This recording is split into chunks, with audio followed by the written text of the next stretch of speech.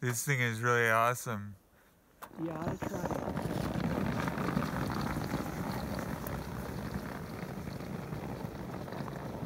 And it will go faster if you want it to. That's true. We're on three. It Goes up to five.